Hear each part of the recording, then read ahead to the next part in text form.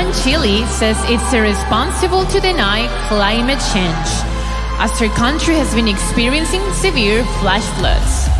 This 22 year old has a so Thailand. Anchilee says it's irresponsible to deny climate change, as her country has been experiencing severe flash floods.